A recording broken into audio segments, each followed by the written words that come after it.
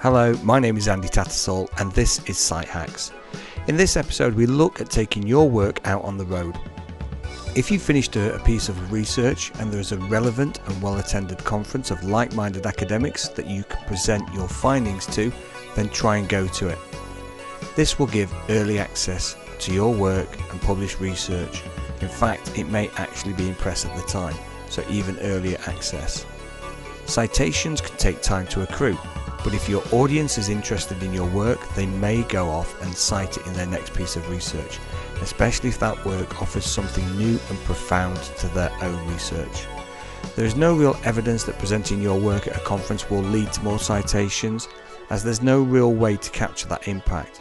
Nevertheless, presenting and disseminating your work is a great way to make others be aware that it exists, and if they know that, they may well cite it.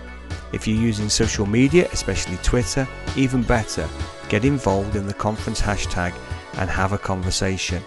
Share links to your work if it adds to the stream of debate at the conference, but don't just use the conference hashtag to deliver a stream of links to your work.